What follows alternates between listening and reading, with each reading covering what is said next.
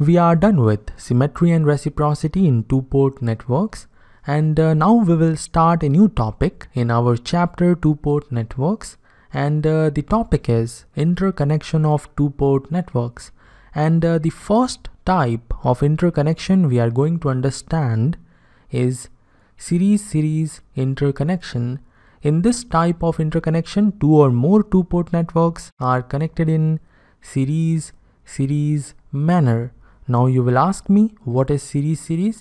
So I will explain it after constructing the simplest series-series interconnection and the simplest series-series interconnection will have two two-port networks and uh, let's say our first two-port network is NA. I'm calling this network NA and uh, this is the port number one or the input port and this is the port number two or the output port and uh, let's say voltage at input port is V1A and the voltage at output port is V2A. The input current is I1A and we know the same current will leave the two port network from the second terminal of input port and uh, let's say the output current is I2A and the same current will leave the network from the second terminal of output port. And now let us take our second two port network and I will call it NB. And the input voltage of this two port network is let's say V1B and the output voltage is V2B. The input current is I1B and the same current will leave the network and the output current is let's say I2B and the same current will leave the network.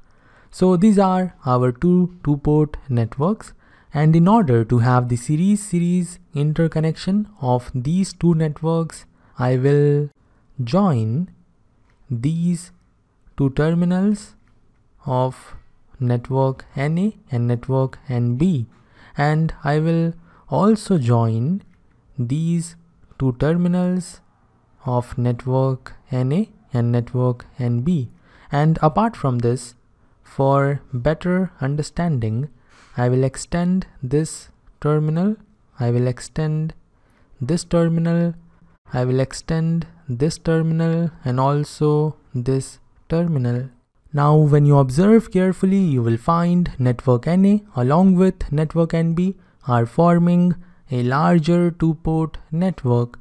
And uh, let's say the input voltage of the larger two-port network is equal to V1 and the output voltage is equal to V2 and uh, let's say the input current entering the two-port network via this terminal is equal to I1 and we know the same current will leave the two port network via this terminal.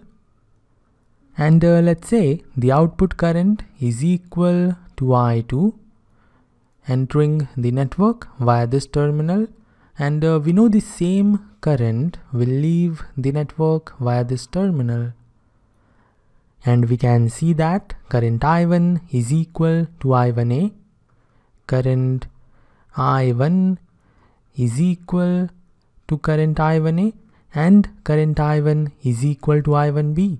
It is equal to I1B. Current I2 is equal to I2A. Current I2 is equal to current I2A and it is equal to current I2B. It is equal to current I2B. Now apply KVL in this loop and you will find we have plus v1 plus v1 then we have minus v1a after this we have minus v1b equal to 0 so from here we will have voltage v1 equal to v1a plus v1b let's say this is equation number 1 apply KVL in this loop and you will find V2 is equal to V2A plus V2B. And uh, let's say this is our equation number 2. Now I will explain why we are calling this interconnection series-series interconnection. We know in a series combination, the current through the elements remains the same and the voltage across them are added. And when you focus on the port number 1 that is the input port of first network and the input port of second network you will find current I1A is equal to current I1B that is the input current of the first network is same as the input current of the second network. And also V1 is equal to V1A plus V1B that is the input voltage of the first network is getting added to the input voltage of the second network. And therefore we can say that the input port of the first network is in series combination with input port of the second network and therefore we are using the word series. And uh, when you focus on the output port of the first network and the output port of the second network you will find current I2A is equal to current I2B that is the output current of the first network is same as the output current of the second network. And also V2 is equal to V2A plus V2B that is the output voltage of the first network is getting added to the output voltage of the second network and therefore the output port of the two networks are in series. So now I hope you understand why we are calling this interconnection series-series interconnection.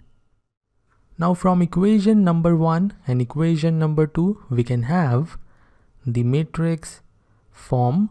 We will have one 2 by 1 matrix having the elements v1 and v2 and this will be equal to the sum of two 2 by 1 matrices. And uh, the first 2 by 1 matrix will have the elements v1a and v2a v1a and v2a and this 2 by 1 matrix will have the elements v1b and v2b v1b and v2b. Now if you have followed the earlier lectures, you will understand that we can write this matrix equal to the z parameters matrix of network NA multiplied to the 2 by 1 matrix having the elements I1A and I2A.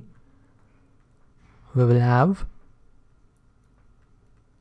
this matrix equal to the Z parameters matrix of network NA multiplied to 2 by 1 matrix having the elements I1A and I2A, current I1A and current I2A.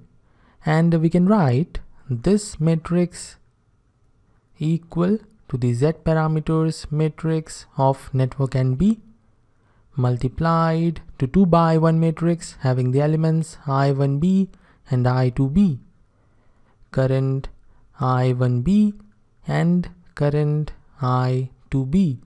And uh, we can write current I1a and current I1b equal to I1. So I will replace I1a by current I1 and I1b by current I1 and uh, we can write current I2A and current I2B equal to current I2. So we will replace them by current I2. So we can see that we have the same matrix multiplied to matrix ZA and matrix ZB and therefore we can take it common. So in the next step we have matrix with the elements v1 and v2 equal to the sum of matrix ZA and matrix ZB multiplied to the matrix having the elements I1 and I2 and uh, this is nothing but the matrix form of the equations we have for the larger two-port network and therefore we can say that this should be the Z parameters matrix of the larger network. Therefore, the Z parameters matrix of the larger network or the overall network should be equal to the sum of Z parameters matrix forming the larger network. So this is our final result. It is important, so remember it. And I hope you know the matrix addition and therefore I'm not extending it further. However, I think I should write one z parameter of the larger network and the remaining three you can write on your own. Let's say z11 is the parameter of the larger two-port network and uh, we know it is open circuit driving point input impedance. Then from here we can say that z11 will be equal to z11a plus z11b Following the same process, you can find out the other three Z parameters of the larger network. Now what if we are connecting n two-port networks in series-series interconnection? Then in that case, the Z parameters matrix of the larger network will be equal to the Z parameters matrix of the first network plus the Z parameters matrix of the second network all the way to the z parameters matrix of the nth network. So this is all for this lecture. In the coming lectures, we will solve questions on the interconnection of two port networks.